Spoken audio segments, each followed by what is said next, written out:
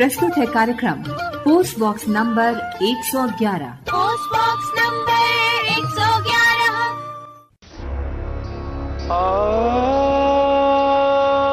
लगभग समय जितना ही प्राचीन।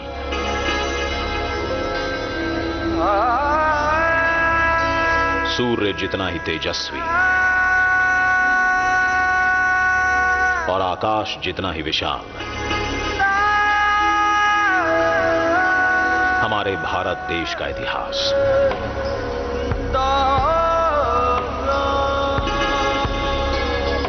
ज्ञान, विज्ञान और समृद्धि से सजा इतिहास। शौर्य, आध्यात्म और कलाकारी से छलकता इतिहास।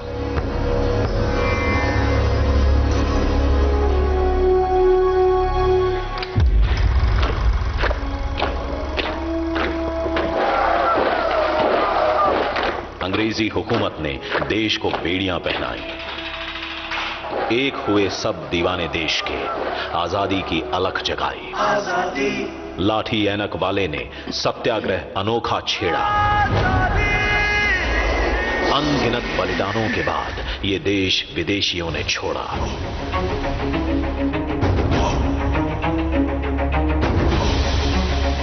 लौह पुरुष ने लोहे सा अखंड बनाया भारत। आज़ादी की नींव पर खड़ी हुई ये भव्य इमारत। तभी आज़ादी ने कहा, मैं मंजिल नहीं राह हूँ। अभी तो मैं शुरुआत हूँ।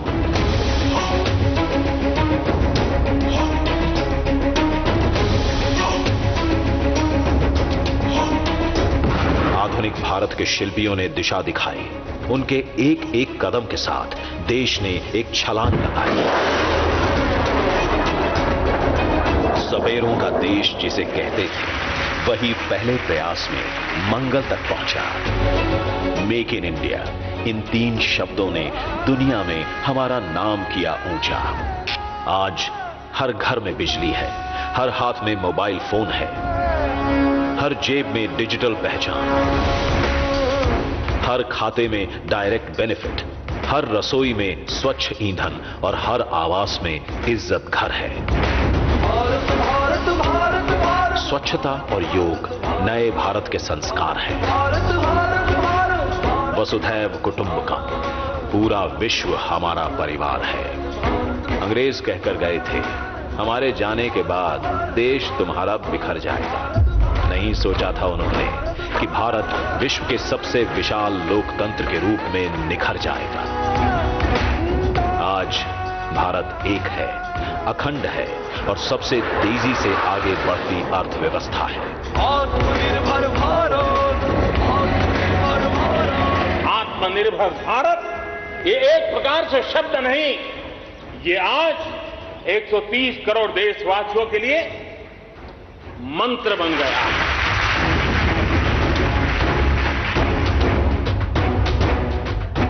आइए मनाते हैं स्वतंत्रता। एकता, विकास और लोकतंत्र के 75 साल।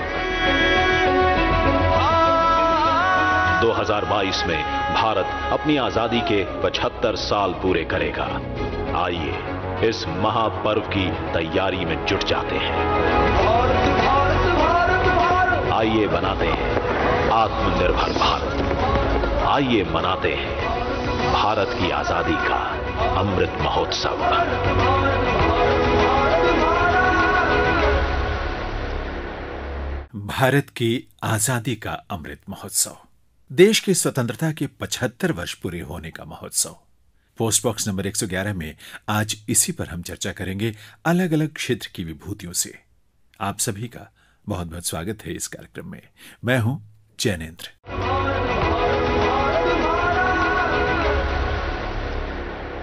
देविया सज्जनों, लंबे संघर्ष के बाद 15 अगस्त सन 1947 को भारत देश आज़ाद हुआ। आज़ादी की बड़ी कीमत इस देश ने चुकाई है। लाखों देशवासियों ने इस स्वतंत्रता के लिए अपना सर्वस्व न्यौछावर किया, अपना बलिदान दिया। तब कहीं जाकर भारत भूमि से ब्रिटिश हुकूमत का सूर्य अस्त हुआ और फिर जो नया सूर्य उदित हुआ, उसमें भारत की अस्मिता की चमक थी, भारत के अभिमान की तीव्रता थी और स्वाभिमान की रोशनी। और उसी प्रकाश में भारत ने पचहत्तर वर्षों की ये गौरवशाली यात्रा पूरी की। आज़ादी का अमृत प्रदान करने वाले ऐसे राष्ट्रभक्तों को नमन। ऐसा लग रहा है जैसे आज़ादी के असंख्य संघर्ष, असंख्य बलिदानों का और असंख्य तपस्याओं की ऊर्जा पूरे भारत में एक साथ पुनर्जागृत हो रही है। मैं इस पुण्य अवसर पर बापू के चरणों में अपने श्रद्धा सुमन अर्पित करता हूँ। मैं देश के स्वाधीनता संग्राम में अपने आप को आहूत करने वाले, देश को नेतृत्व देने वाली सभी महान विभूतियों के चरणों में आदर पूर्वक नमन करता हूँ, उनका कोटि कोटि वंदन करता हूँ।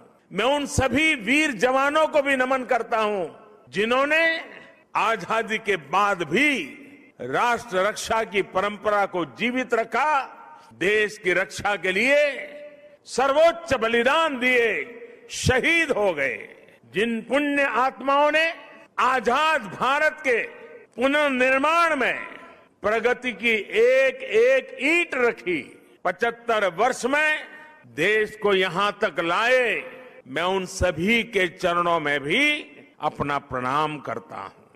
साथियों जब हम गुलामी के उस दौर की कल्पना करते हैं, जहाँ करोड़ों करोड़ लोगों ने सदियों तक आज़ादी की एक सुबह का इंतज़ार किया, तब ये एहसास और बढ़ता है कि आज़ादी के 75 साल का अवसर कितना ऐतिहासिक है, कितना गौरवशाली है। इस पर्व में शाश्वत भारत की परंपरा भी है, स्वाधीनता संग्राम की परछाई भी है और आज़ाद भारत के गौरवान्वित करने वाली प्रगति भी है। आज़ादी का अमृत महोत्सव का शुभारंभ माननीय प्रधानमंत्री श्री नरेंद्र मोदी ने बीते 12 मार्च को अहमदाबाद में किया था। 15 अगस्त 2022 से 75 सप्ताह पूर्व, यानी 12 मार्च को इसका शुभारंभ होने के पीछे भी एक विशेष अभिप्राय था।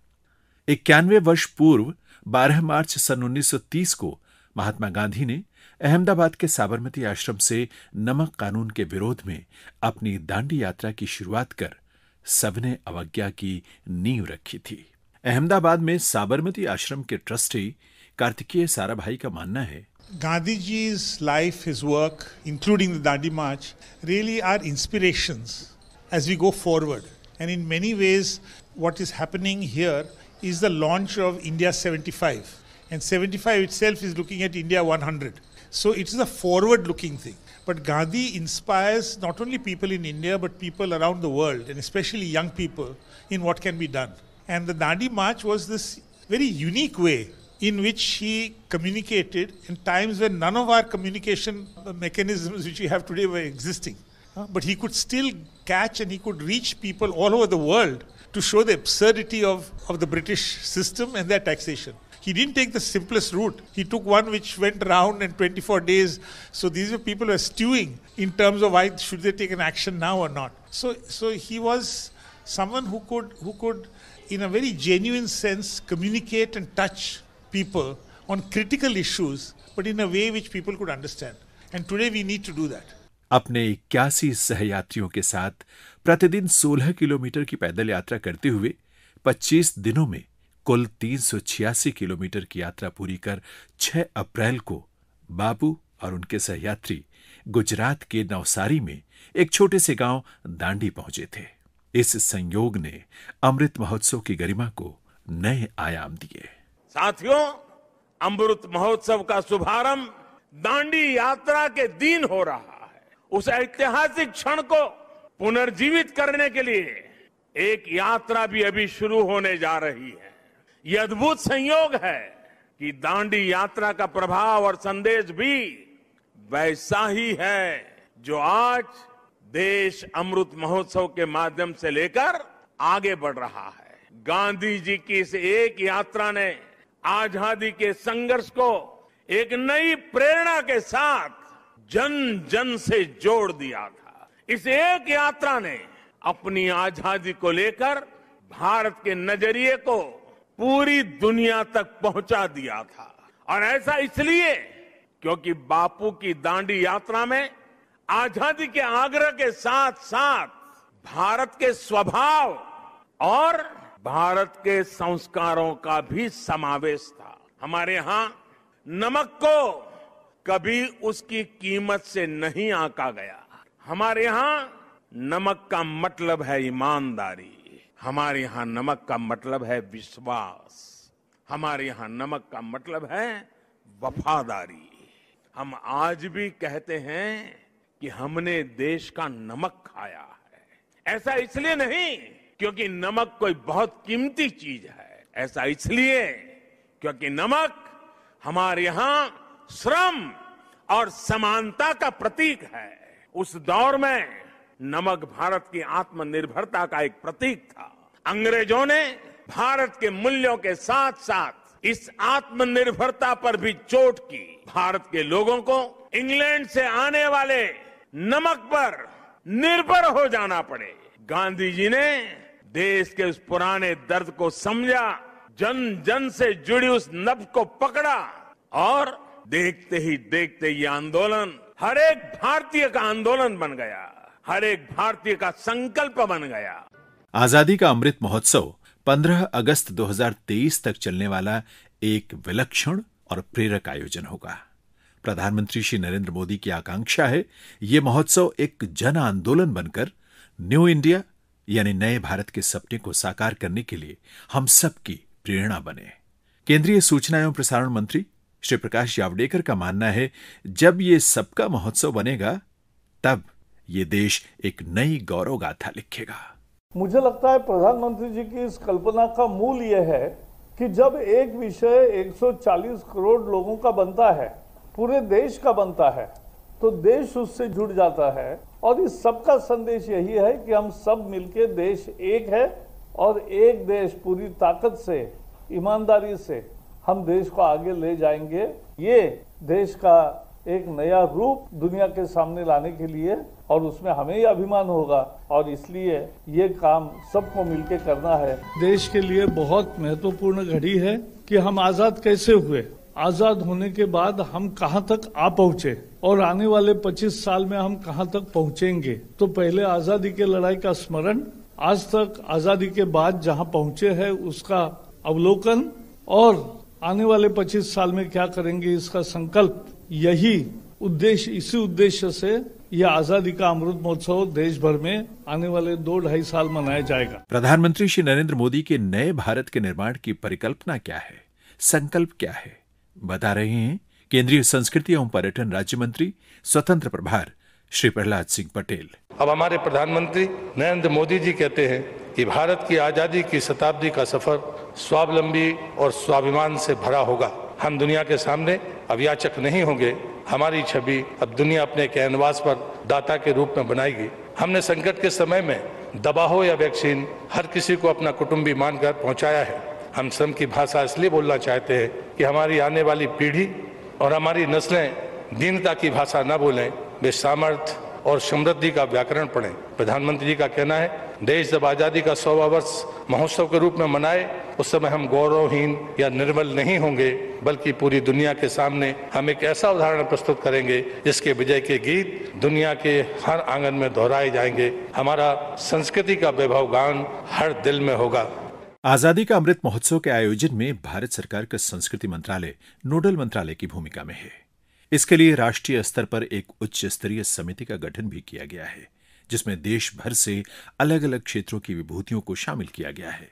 इस पूरे आयोजन की रूपरेखा के बारे में हमने बात की केंद्रीय संस्कृति मंत्रालय में संयुक्त सचिव निरुपमा कोटरू से। गत एक दो वर्ष से इस पे आ, काफ़ी आ, सोच विचार किया गया कि सेवेंटी फिफ्थ एनिवर्सरी जो आ रही है बड़ा इम्पोर्टेंट लैंडमार्क होता है किसी भी नेशन की हिस्ट्री में। तो इसको कैसे अच्छी तरह मनाया जाए और ये सिर्फ़ एक जश्न या सिर्फ़ सेलिब्रेशन या इवेंट्स ना हो बल्कि बहुत ही इम्पोर्टेंट लैंडमार्क ये सूचित करे कि इंडिया इस वक्त कहाँ पहुँच चुका है। जी। कि पचहत्तर सालों की हमारी जर्नी किस तरह हम लोगों देशवासियों को प्रेरित भी करें और इसको जश्न तो ज़रूर मनाए लेकिन साथ साथ कुछ ऐसे संकल्प भी करें कि विश्व सच पे और देखे कि भारत पचहत्तर वर्षों में कहाँ से कहाँ पहुँच चुका है हमने क्या क्या पाया है और हमें और अभी क्या क्या करना है। प्रधानमंत्री जी की चेयरमैनशिप में एक नेशनल कमेटी बनी हर वॉक ऑफ़ लाइफ से उसमें मेंबर्स हैं हमारे स्पोर्ट्स पर्सन भी हैं पॉलिटिकल लीडर्स भी हैं आर्टिस्ट हैं जी। बिज़नेस लीडर्स हैं। ये कोइंसिडेंस भी है कि जब हम पचहत्तर वर्ष पूरे करने वाले हैं 2022 में 15 अगस्त को तो ये सोच थी कि उससे 75 वीक्स पहले ये सेलिब्रेशन शुरू हो जाए। सौभाग्यवश वो डेट 10 10 11 मार्च के बाद। तो हमारा बहुत बड़ा सौभाग्य कि इतना अच्छा एक इंपॉर्टेंट लैंडमार्क हमें डांडी सत्याग्रह का मिला। तो फिर इसलिए प्रधानमंत्री जी ने तय किया कि इसी से हम अपना शुभारंभ करेंगे। और आगे बहुत सारे कार्यक्रम हैं। हमने काफ़ी राज्यों से ऑलरेडी हमारी बातचीत हुई है हमने उनको पत्र लिखे उनके जवाब भी आ गए और बहुत ही एंथुजियाज्म से कश्मीर हो या केरल हो या मध्य प्रदेश हो या तमिलनाडु हो कर्नाटका हो हर स्टेट ने हमें लिखा है कि आगे के पचहत्तर वीक्स की तैयारी भी बड़े ज़ोर शोर से हो रही है। और इसमें जैसा आ, होता है ना कि सिर्फ़ एक प्रोग्राम हो गया कल्चरल इवेंट हुआ वो तो होगा ही होगा साइकिल रैलियाँ होंगी मैराथन होंगे क्योंकि इन सब चीज़ों से लोग जुड़ते हैं। एक जन भागीदारी होती है। मगर उसके अलावा ये बड़ा ज़रूरी है कि actions achievement ideas India to वो जिसको हम कह सकते हैं। विजन क्या होना चाहिए हमारा? इस सब पे बहुत सारे प्रोग्राम्स होने वाले हैं। बहुत पॉलिसीज़ भी गाइड होंगी इससे। निरुपमा जी प्रधानमंत्री जी की परिकल्पना है कि इस महोत्सव को जन आंदोलन बनाया जाए। मतलब ये कि आज़ादी का ये अमृत महोत्सव केवल सरकारी आयोजन होकर न रह जाए बल्कि समाज के हर वर्ग का आयोजन बने हर किसी का उत्सव बने। इस दिशा में क्या विशेष प्रयास है? देखिए यूथ को कनेक्ट करना सबसे बड़ा चैलेंज है, क्योंकि क्या होता है कि ये जो हमारे हीरोज होते हैं स्पेशली अनसंग हीरोज अब कुछ एक फ्रीडम फाइटर्स के अलावा हमारी यंग जनरेशन जानती ही नहीं है कि किस किस ने कुर्बानी दी है, हमें यहाँ तक पहुँचाने के लिए कि आज हम इतना स्वतंत्र हैं और देखिए मतलब लेडीज़ इतने आगे हैं हर क्षेत्र में, हर तरह से हमने कितनी अचीवमेंट की है। तो यूथ को जोड़ना सबसे बड़ा चैलेंज मुझे लगता है हमेशा। तो उसके लिए काफ़ी सारी चीज़ें हमने सोची। ऑफकोर्स डिजिटल मीडियम एक जायरा है, एक मीडियम है, जिसके थ्रू हम ये एक होता है ना आइडियल्स प्रोपोगेट करना बहुत ज़रूरी है और इस वक्त तो बहुत ही ज़रूरी है। पूरा विश्व ऐसे दौर से गुजरा है, अभी पैंडमिक भी हुआ, आपको मालूम है, और हम लोग धीरे धीरे ऐसा करने की कोशिश करेंगे कि यूथ को लेडीज़ को, हर तरह के अंडर प्रिवलेज आप कहें या इकोनॉमिकली बैकवर्ड करें, हर तरह के लोग, हर इंडियन जुड़ पाए। उसे ये ना लगे कि मैं छूट गया या मैं छूट गई, और ये बस एक कहते हैं ना सरकारी प्रोग्राम वो बिल्कुल नहीं हमें करना। We are very open to ideas we really want suggestions कि लोग सोचे कि हमें क्या करना चाहिए। और इसीलिए तो फ्रीडम फाइटर्स अनसन हीरोज को याद करना वो जो सीमित रह जाती थी हिस्ट्री बुक्स में उसको यूथ के लिए लाने के लिए म्यूजियम्स एक बहुत अच्छा ज़रिया है। जैसे जो हमारी कल्चर मिनिस्ट्री का एक मैंडेट भी है। जी। तो हम काफ़ी सारे नए म्यूज़ियम डेवलप कर रहे हैं। हमारी एक आपको आपने शायद देखा होगा टीवी में नेताजी की one twenty fifth birth anniversary का भी आगाज़ प्रधानमंत्री जी के कमरों से हुआ था विक्टोरिया मेमोरियल में। जी जी। तो नेताजी पे एक प्रदर्शनी लगाई गई है और एक साउंड एंड लाइट शो भी हुआ। तो ये काफ़ी अट्रैक्टिव होता है और I was very surprise myself कि यूथ आके देखता है क्योंकि काफ़ी सारे डिजिटल एग्जिबिट्स हैं। आजकल सिर्फ़ एक पुराना जो होता था ना म्यूज़ियम के कुछ आपने ऑब्जेक्ट्स रख दिए और बस नहीं ऐसा नहीं है। आपको यूथ को जोड़ना ही पड़ेगा, आपको उनको दिखाना ही पड़ेगा वर्चुअल टूर्स वगैरह। We have to compete with the best in the world are really trying our museums become world class there is going to be a new revolutionary leaders पे अभी भारत गैलरी बन रही है विक्टोरिया मेमोरियल में ही। उसके अलावा red fort जो लाल किला, जो इतने सारे हिस्टोरिकल इवेंट्स से जुड़ा है, उसको एज अ कल्चरल स्पेस हम लोग डेवलप कर रहे हैं। वहाँ बहुत सारे छोटे छोटे म्यूजियम्स और एक आत्मनिर्भर भारत केंद्र भी हम बना रहे हैं। डिज़ाइन सेंटर तो इस तरह की काफ़ी सारी प्रोग्राम्स पॉलिसीज़ बहुत सारी हैं और एक वेबसाइट का भी उसको हम ओपन करेंगे कि लोग उसमें जुड़े और हमें आइडियाज़ दें और जिस तरह हमने गांधी की, गांधी जी की 150वीं जब ये एनिवर्सरी मनाई थी तो हमने कार्यांजलि करके कैंपेन लॉन्च किया था कि कोई भी अपने कार्य से बापू को श्रद्धांजलि देना चाहे तो वो अपने वीडियो अपलोड कर सकते हैं। उसी तरह हम इसमें भी इंडिया जो 75 है हमारा अमृत महोत्सव उसकी वेबसाइट तो हम लोगों से कहेंगे कि आप किस तरह सोचते हैं इंडिया सेवेंटी आपकी कल्पना क्या है? आपके क्या विचार हैं? हमें क्या करना चाहिए? हर फ़ील्ड में चाहे वो स्पोर्ट्स हो चाहे एंटरटेनमेंट हो आर्ट्स हो क्योंकि हर फ़ील्ड इम्पोर्टेंट है। मैं सच में मानती हूँ एज कल्चर मिनिस्ट्री ही नहीं मैं कह रही हूँ बट एज एन इंडिविजुअल की हर आर्ट हर स्पोर्ट्स हर तरह का फ़ील्ड नेशन बिल्डिंग में बहुत इम्पोर्टेंट होता है। जी। ऐसा नहीं है कि सिर्फ़ पॉलिटिकल लीडर से ही नेशन बनता है मतलब पार्लियामेंट से ही बनता है। हर स्पोर्ट्स पर्सन अब इसी तरह आर्टिस्ट जो हमारे ग्रेट है हमारी कमिटी में ही बहुत सारे हैं लता मंगेशकर जी से लेकर भारत रत्न अवॉर्डीज हैं तो हर क्षेत्र में योगदान होता है हर इम्पोर्टेंट पर्सन का।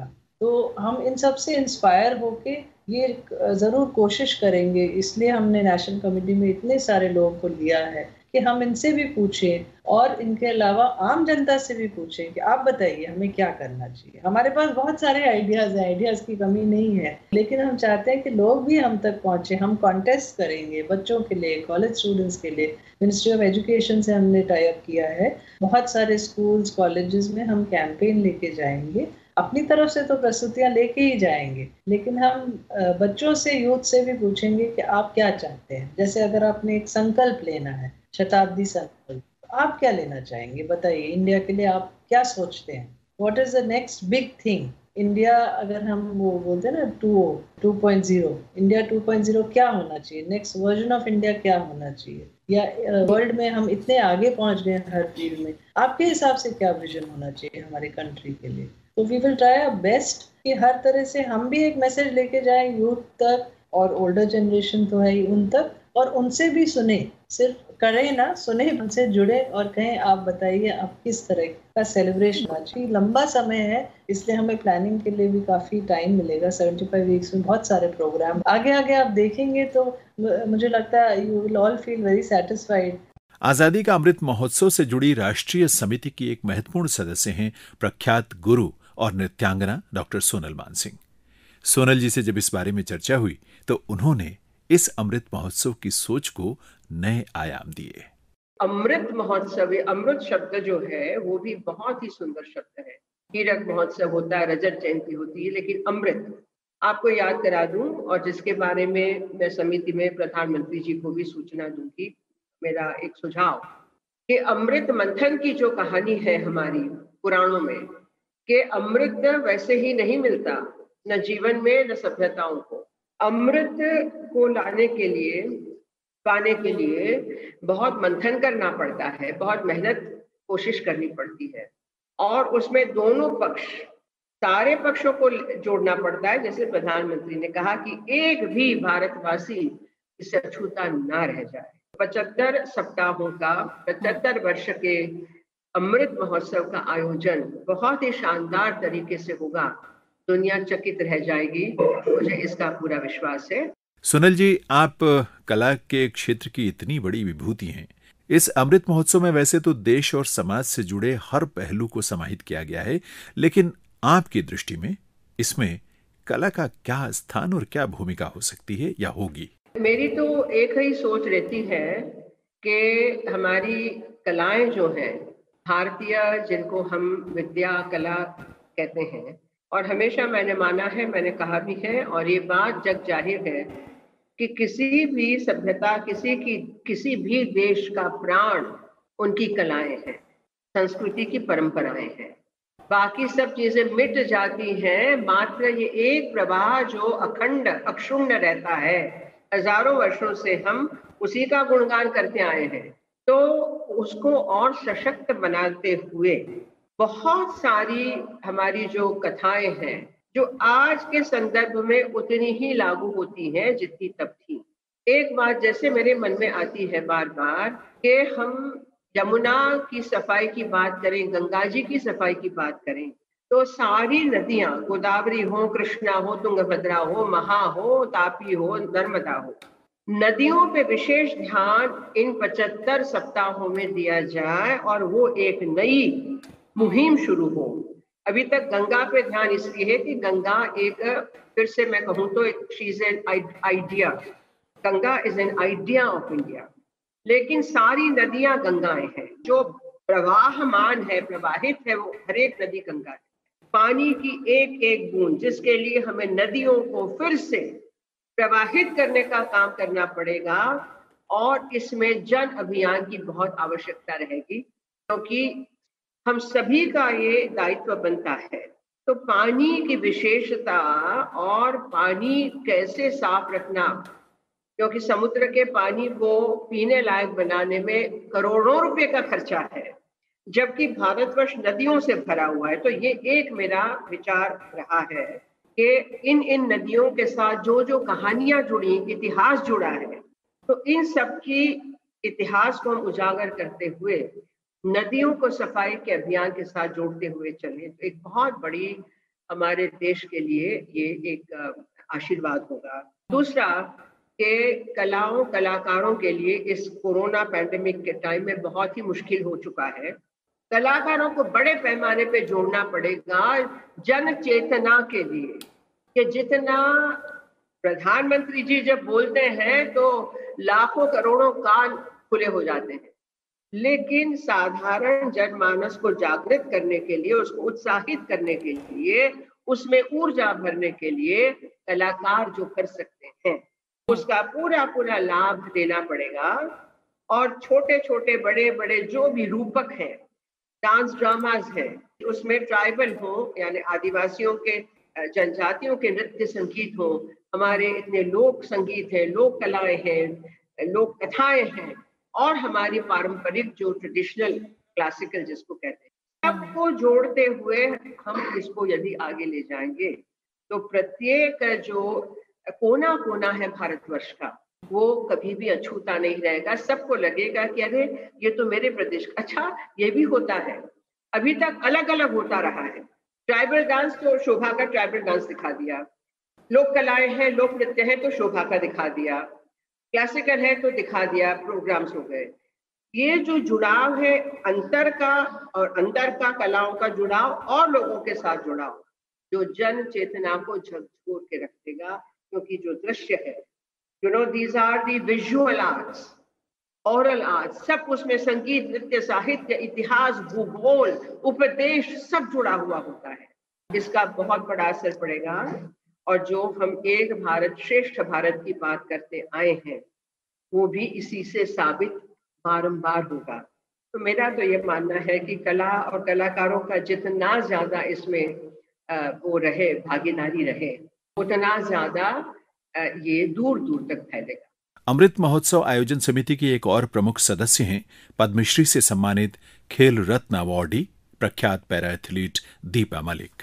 देखिए मैं खिलाड़ी हूँ और मैं जब भी खेली हूँ या मैंने देश के लिए जब भी मेडल जीता है तो जो तिरंगा गया है वो सबका ऊपर गया है। जो मेडल आया है वो 130 करोड़ भारतीयों का अपना स्वयं उनका प्यारा मेडल बनकर आया है। तो कुछ ऐसी सी भावना मुझे आई जब मैंने कमेटी की मीटिंग अटेंड करी मैंने आदरणीय मोदी जी को सुना मैंने सांस्कृतिक मंत्रालय के संयोजकों को सुना और जब मैंने इसकी पूरी परिभाषा समझी कि ये इंडिया एट सेवेंटी फाइव इसका इसका क्या प्रतिरूप रहेगा तो मुझे बहुत एक uh, सच कहूँ तो एक ऐसे खचाखच भरे हुए स्टेडियम की जिसके अंदर एक खिलाड़ी खेल रहा है और जैसे ही वो जीतता है तो तमाम तिरंगे, झंडे या वाघा बॉर्डर के ऊपर जब सारे वहाँ पे बैठे होते हैं और देशभक्ति की एक भावना जगकर आ रही होती है जब हमारे सैनिक वहाँ परेड कर रहे होते हैं और तिरंगा ऊपर जा रहा होता है तो बिल्कुल एक वैसी सी भावना आई। मैं हूँ भी सैनिक परिवार से तो बहुत कूट कूट कर भरी गई है मेरे अंदर देश प्रेम की भावना। खिलाड़ी का यूनिफॉर्म हो या पति और पिता की फौजी यूनिफॉर्म हो, उसका एक ही परिभाषा है देश प्रेम और ये इंडिया एट 75 का जो ये इतना बड़ा महोत्सव, मेरे ख्याल उसका भी बस एक ही परिभाषा है देश प्रेम देशभक्ति। मेरे ख्याल से देश प्रेम ज़्यादा, क्योंकि जब आप अपने मुल्क को प्यार करते हो, आप अपने देश से प्यार करते हो, आप किसी भी चीज़ से जब प्यार करते हो तो आप उसको संभालना चाहते हो, उसे संवारना चाहते हो, उसे संजोना चाहते हो, उसकी सराहना करना चाहते हो। तो ऐसा हमें करना है अब अपने देश के लिए। दीपा जी, आप स्वयं में एक यूथ आइकॉन हैं। यूथ के लिए एक प्रेरणा है, युवाओं के लिए मार्गदर्शक हैं। युवाओं को इस पूरे आयोजन के साथ जोड़कर ये जो संस्कार हैं मूल्य हैं आदर्श हैं सोच है परिकल्पना है आ, उन तक और आने वाली पीढ़ियों तक पहुँचाया जा सके इस दिशा में आपकी क्या सोच है या आप क्या सलाह देती हैं? देखिए आजकल का यूथ है hashtag throwback Saturday hashtag throwback Thursday तो ये मेरे ख्याल से उनके लिए एक हैश टैग थ्रो बैक भी है और एक पेट्रियोटिज्म का चैलेंज भी है तो बहुत अच्छा लगेगा जब सब आगे आएँगे। और जो मुझे सबसे ज़्यादा एक्साइट कर रहा है कि हम नए नए आइडियाज़ देखना चाहते हैं तो मैं भी देखना चाहती हूँ कि कितना इनोवेटिव होने वाला है पूरा भारत या पूरे भारत के बच्चे school projects it will be so exciting to see कि कितने नए नए तरीके से मैं खुद uh, मैं तो खुद ही रोज दिन रात जब से मैंने मीटिंग अटेंड करी है, मैं सोच रही हूँ कि मैं क्या करूँगी इन पिछहत्तर हफ्तों में? या मैं कम से कम हर हफ़्ते कोई एक ऐसी चीज़ करूँ जो इंडिया एट 75 के पाँच तत्वों में से कोई एक एलिमेंट को लेके मैं उसको हाईलाइट कर सकूँ? तो शायद ये भी नए भारत का एक प्रतिरूप है कि एक महिला जो 30 वर्ष की आयु में पैरालिसिस में चली जाती है और लोग सोचते हैं उसकी ज़िंदगी अंत हो जाएगी। क्योंकि भारत में तो टैबू माना जाता है डिसेबिलिटी को लेकिन 20 साल बाद वही महिला पेडल भी जीतती है और इतनी सशक्त हो जाती है अपने देश में खेल के कि वो एक नया घर भी बना लेती है अपने बलबूते पे। तो ये भी तो अपने आप में एक भारत का बहुत बड़ा नया रूप है। प्रधानमंत्री श्री नरेंद्र मोदी के नेतृत्व में भारत सरकार ने जिस भव्यता के साथ आज़ादी के अमृत महोत्सव को मनाए जाने की तैयारी की है उसकी परिकल्पना की है वो प्रधानमंत्री की सोच और अप्रोच के ही अनुकूल है, ऐसा मानना है वरिष्ठ पत्रकार प्रदीप सिंह का। देखिए, एक बात बार बार जो प्रधानमंत्री जो भी कार्यक्रम करते हैं, उसमें नज़र आती है। वो वो है कि उनका विजन भारत एक उत्सव धर्मी देश है। तो उत्सव जो होता है, उसमें लोगों की जो भागीदारी होती है, वो उसका लेवल ही अलग होता है। तो इस तरह से, जिस तरह से ये कार्यक्रम की रूपरेखा बनाई गई है, प्रधानमंत्री ने इसको जिस तरह से बुना है, जो उनका विजन है, उसको देखते हुए लगता है कि पचहत्तरवीं वर्षगांठ पर वो माहौल उस तरह का क्रिएट करना चाहते हैं, उस तरह की का वातावरण बनाना चाहते हैं, जिस तरह का शायद उन्नीस सौ सैंतालीस में रहा होगा, जब हमें आज़ादी मिली। तो आज़ादी की कीमत को समझें। देखिए, आज़ादी जिन लोगों ने दिलाई दो दो पीढ़ियाँ लग गई। उन्होंने अपने हम्म। जीवन का बलिदान दिया। तब हम इस आज़ादी का आज उपभोग कर पा रहे हैं। ये ये जो हमें स्वतंत्रता मिली है मौलिक अधिकार मिले हैं ये सब उस बलिदान के कारण मिले हैं। तो प्रधानमंत्री की कोशिश आप देखिए हर कार्यक्रम में इस तरह के रहती है कि उनको नहीं भूले। जिनकी वजह से आज हम स्वतंत्र हैं जिनकी वजह से हमें मौलिक अधिकार मिले हैं बोलने की स्वतंत्रता मिली है दूसरे मौलिक अधिकार मिले हैं वो सब उन लोगों का किया हुआ है उन लोगों के परिश्रम का फल है तो इसको बहुत संभाल कर रखने की ज़रूरत है। देखिए हमारा देश जो है युवाओं का देश माना जाता है क्योंकि दो तिहाई आबादी जो है वो युवाओं की है। दूसरी बात है प्रधानमंत्री के जीवन पर उन और उनके कामकाज की शैली पर अगर आप न, नज़र डालें तो हम्म। गांधी जी का बड़ा प्रभाव नज़र आता है। और गांधी जी की सबसे बहुत सी खूबियाँ थी हज़ारों खूबियाँ हैं पूरी दुनिया मानती है देश तो मानता ही है हमारा। वो ये कि जो भी काम कीजिए, जो भी अभियान चलाना है, जो बात लोगों को तक पहुंचानी है, उसको जन भागीदारी से जोड़िए। तो आप देखिए, आत्मनिर्भर भारत लोकल फॉर वोकल, जो प्रधानमंत्री के ये ये दो कार्यक्रम है, पिछले इस कहें दूसरे कार्यकाल में उन्होंने शुरू किया है, उसको आगे बढ़ाने के लिए वो अब लोगों तक ले जा रहे हैं, युवाओं तक ले जा रहे हैं। उनको ये समझाने की कोशिश, बताने की कोशिश कि भविष्य आपका है। इस देश को आगे आपको चलाना है। तो आपको अभी से अगर आप राष्ट्र निर्माण में लगेंगे तो उसका लाभ आपको, आपके आने वाली पीढ़ी को भी मिलेगा। आपको याद हो कि एक एक समय जो है बेटी पढ़ाओ, बेटी बचाओ के आंदोलन का जब की शुरुआत उन्होंने की थी, तब भी सेल्फी बेटी के साथ सेल्फी खींचकर और पोस्ट कीजिए सोशल मीडिया पर।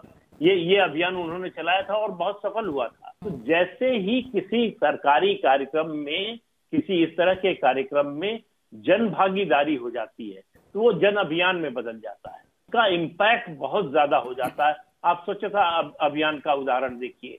जिस तरह से उन्होंने शुरू किया और लोगों को जोड़ा, उसका नतीजा ये आज आज ये है कि वो सरकार से ज़्यादा लोगों का आंदोलन बन गया है। तो ये जो जन जागरण की कोशिश है उनकी ये जो जन भागीदारी की का का उनका, शैली है वो कार्यक्रमों को ज़्यादा प्रभावी और ज़्यादा विस्तार देती है। और दूसरी दूसरी बात आप ये देखिए कि प्रधानमंत्री ने अभी कुछ ही समय पहले संसद में ही बोलते हुए ये बात कहा। उन्होंने कहा कि भारत जो है ये ये हम सबसे बड़ी आबादी हैं दुनिया में चीन के बाद तो सबसे बड़ी डेमोक्रेसी है। बात इसकी नहीं है। उन्होंने कहा कि हम भारत जो है वो जनतंत्र की जननी है। जब दुनिया में कहीं जनतंत्र नहीं था तब हमारे हमारे यहाँ जो है जनतांत्रिक व्यवस्थाएँ थी। और उदाहरण देकर उन्होंने समझाया। ये नई पीढ़ी को जानने की ज़रूरत है। इस जब उसको आप समझेंगे कि हमारे पुरखों ने क्या हमको धरोहर दी है तो उसको सजो कर रखने की इच्छा भी आपके मन में जागृत होगी। तो इस तरह से प्रधानमंत्री जो जो इतिहास से जोड़कर, संस्कृति से जोड़कर, भारतीय संस्कृति के जो सकारात्मक पक्ष हैं, दूसरे आयाम हैं, उनसे जोड़कर जब युवाओं को संबोधित करते हैं तो युवाओं में एक सांस्कृतिक चेतना का जागरण होता है। और उससे देश के प्रति मोह पहले से, देश के प्रति समर्पण पहले से ज़्यादा बढ़ता है। तो ये ये जो पचहत्तर साल का, के, का कार्यक्रम है जो अमृत महोत्सव का अभियान शुरू किया है प्रधानमंत्री ने, वो आप देखिएगा कि ये पूरा होते होते देश में एक बड़ा बदलाव आपको दिखाई देगा, खासतौर से युवा पीढ़ी में, जिनको इस देश को आगे ले जाना है। तो प्रधानमंत्री जिस तरह से इस काम को कर रहे हैं, ये ये देखिए किसी सरकार के मुखिया के काम तक सीमित नहीं है। ये ये एक तरह से कोई जन नेता ही इस काम को कर सकता है। कोई सोशल रिफॉर्मर जो सामाजिक सुधार का बीड़ा लेकर चलते हैं उस तरह का काम है ये। सरकार चलाने के लिए तो उनके लिए कोई दिक्कत नहीं थी सरकार चल रही है अच्छी और और उनको ये कार्यक्रम लेने की या इतने बड़े पैमाने पर करने की ज़रूरत नहीं थी। लेकिन वो, वो उनको समझ में आ रहा है कि इस देश को मज़बूत बनाना है अगर विश्व गुरु बनाना है अगर दुनिया में सबसे ताकतवर देश बनाना है आर्थिक रूप से सामरिक रूप से तो उसके लिए युवाओं को जगाना पड़ेगा। जो काम वो कर रहे हैं।